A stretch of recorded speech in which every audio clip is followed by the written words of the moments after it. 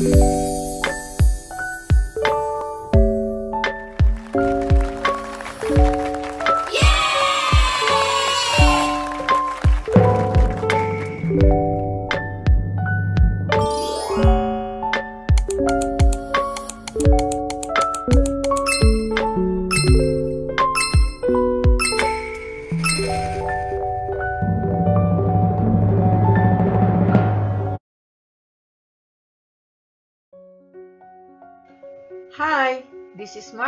once again and welcome to my channel.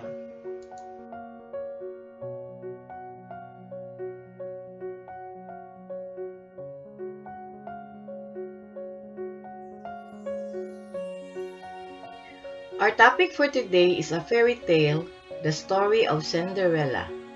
It is about a girl who came from a noble family. Her name is Cinderella. She is the only daughter of a wealthy and widower duke who has remarried to provide her with a stepmother and two stepsisters. Let us all learn how Cinderella lived her life together with her stepmom and stepsisters.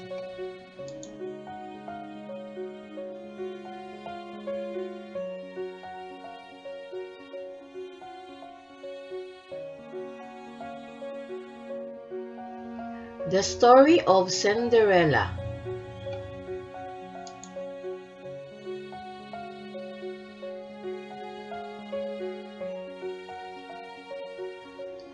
Once upon a time, a noble man lived who married after his wife died, with a woman who had two daughters and three of them didn't have a lot of good virtues.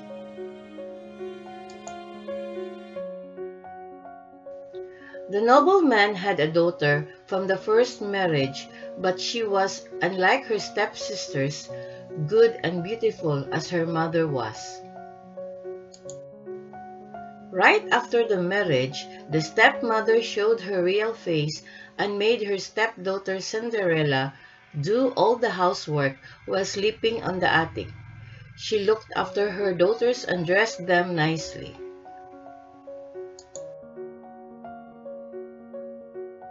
The girl, despite her misery, got on fine with everything, but she couldn't say anything to her father, who was also afraid of the stepmother.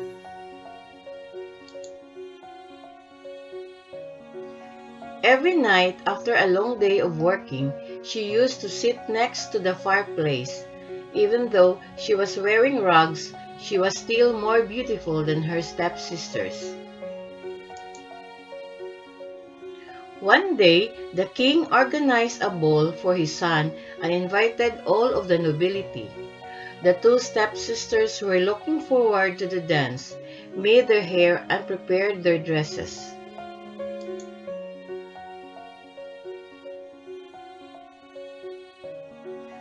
Cinderella selflessly helped them and wanted to go to the dance as every other girl, but dressed badly and filthy because of the ash she couldn't go anywhere. Her stepsisters agreed with that.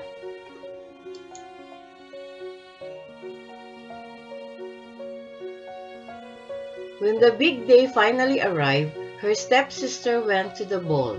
Cinderella said goodbye to them in tears and then her godmother, who was a good fairy, saw her. She felt pity for the poor Cinderella, and when she told her she wanted to go to the ball, the godmother decided to help her. First, she sent the girl to the garden to get a pumpkin, and then she carved it and made a beautiful carriage out of it. After that, Cinderella had to bring the mousetrap where six mice were caught and as one by one left the mousetrap, the fairy godmother turned them into horses, and the lizards the Cinderella found were turned into servants. Cinderella was still wearing the felted dress, so the fairy godmother made her a beautiful dress with just a touch of her wand. Nicely dressed, Cinderella was ready for the ball. The fairy godmother reminded her that she can't stay after midnight because then everything goes back to normal. When she arrived, the prince spotted her immediately and was impressed with her beauty.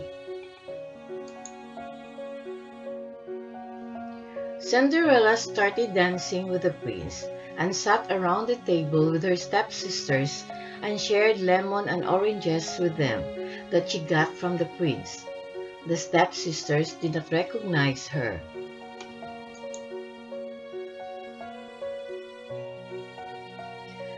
Cinderella was so happy dancing with the prince that she almost forgot what the fairy godmother had said.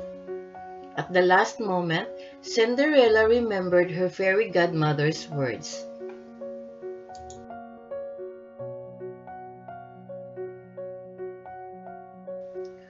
Oh, I must go, she cried and ran out of the palace.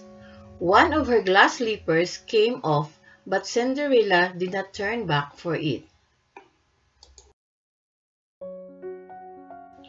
She reached home just as the clock struck twelve. Her carriage turned back into a pumpkin, the horses into mice, and her fine ball gown into rags. Her stepmother and stepsisters reached home shortly after that. They were talking about the beautiful lady who had been dancing with the prince.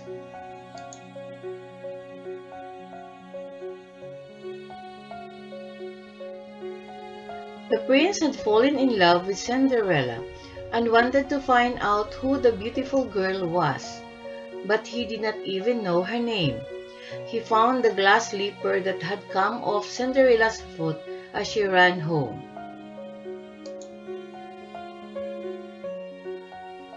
The prince said, I will find her. The lady whose foot fits this slipper will be the one I marry. The next day, the prince and his servants took the glass slippers and went to all the houses in the kingdom.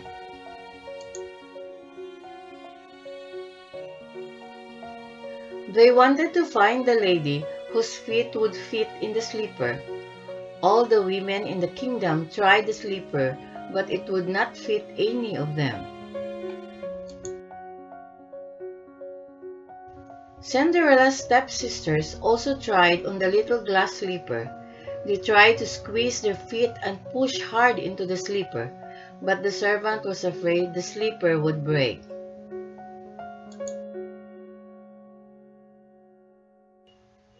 Cinderella's stepmother would not let her try the slipper on, but the prince saw her and said, Let her also try on the slipper.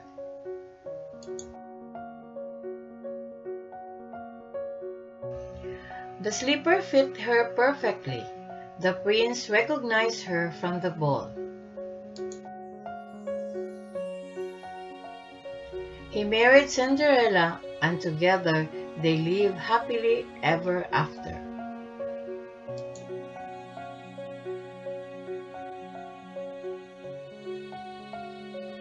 Lesson learned from the story. The story tells us how important to be kind and forgiving. There is a great strength in kindness. Cinderella teaches us kindness is a form of beauty which will eventually be recognized. Forgiving helps you move forward in your spiritual path. When you forgive someone, you forgive yourself. It allows you to take your power back. Negative emotions rob your energy and take a toll on your body, mind, and spirit. But if you forgive, forgiveness frees you, and we breath and sight of relief which is good to one's health.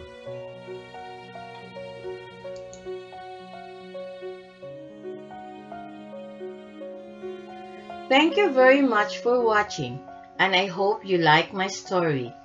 Please don't forget to like, comment, and subscribe.